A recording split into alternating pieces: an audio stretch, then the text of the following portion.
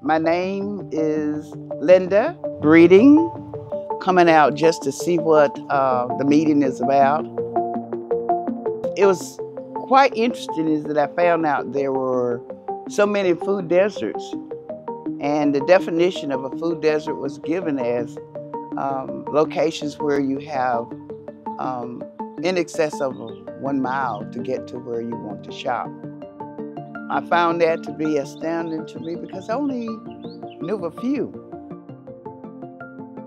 And I find that that's hard for people that have to get up every day and think about where they're going to get their fresh fruits and vegetables from, not only where, but sometimes it's how, because transportation can be a problem.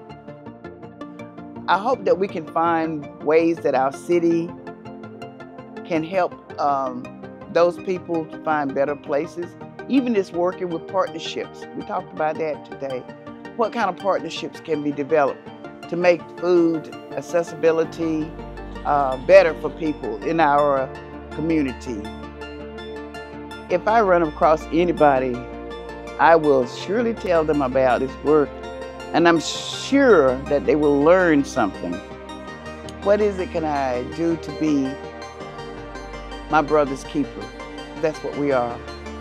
It's not just about me and what um, I have. I need to make sure that those who are around me have the same accessibility.